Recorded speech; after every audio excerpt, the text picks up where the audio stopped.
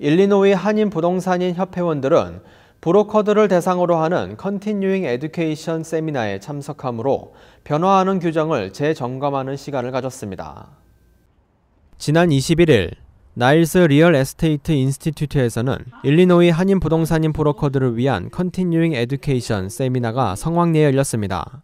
오전 8시부터 오후 3시까지 이어지는 이날의 교육은 이틀에 걸쳐 강의와 시험을 치러야 하는 과정을 하루 과정으로 집약해서 이루어집니다. 특별히 이번 연도에는 지난해 7월 개정된 내용 성희롱 예방법이 추가되었습니다. 성희롱 예방에 대한 그것이 강화돼서 그거에 대해서 교육을 받았고요. 일리노이 한인 부동산인 협회는 두 달 전부터 준비해 60여 명이 교육에 참여했으며 부동산 브로커로서 이미 아는 규정이지만 기초를 새롭게 점검함으로써 현장에서 고객과 만나고 계약을 체결할 때 큰 도움이 된다고 밝혔습니다. 우리가 다 아는 거고 많은 분들이 또 오래 여기 계신 분들이 하셨는데 한 2년에 한 번 하지만 좀 번거롭지만 또 우리가 다시 규정이나 이런 regulation이나 이런 거를 다시 이렇게 revive 하면서 다시 우리 부동산 일에 하는 게 많이 도움이 되는 것 같고 또 교육도 필요하고 또 많은 분들이 요번에 많이 참여하셔서 다시 재밌게 아침부터 이렇게 하시는 모습 보니까 참 뿌듯합니다. 나일스 Real Estate Institute의 레리 토바는 부동산 라이센스 취득과 유지 연장을 위한 교육을 진행해 오고 있으며 일리노이 한인 부동산인 협회와 업무 협력으로 보다 많은 이들이 성공적인 활동을 이어가길 바란다고 전했습니다. We offer programs to help you become licensed as a real estate broker or to keep your license through post license and continuing education programs.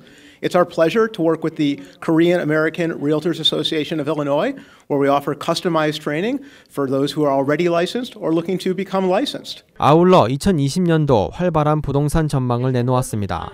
Um, so right now, it's still a great time to work in real estate and work with a real estate professional on the purchase or sale of a home. It's been a very active real estate market over the past several years, and trends continue to show that it's strong. We have historically low mortgage rates right now, which creates opportunity to move into properties that otherwise might not be available when rates are much higher. And so we're still very positive about the real estate trends, and we think it's a great time to um, be conducting a real estate transaction or working in this business. 김세미 회장은 5월경에는 일반인을 위한 세미나를 계획하고 있다며 많은 참여를 당부했습니다.